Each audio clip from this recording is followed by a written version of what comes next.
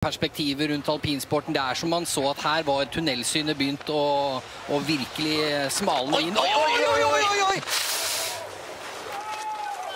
Det var både livsfarlig og spektakulært alt på en gang. At det der går bra med Maxence Musato. Se på dette her Ja. nærmere nå. Dette her er eh, litt lenger Skal sette Her. svingen, og så glipper yttersida unna på et eh, slag. Det her er altså så flaks. Jeg, kan, jeg tror ikke det er mulig. Se på dette her. Dette kan altså gå gærent på så utallig mange måter. Og så lander han helt, helt snorrett.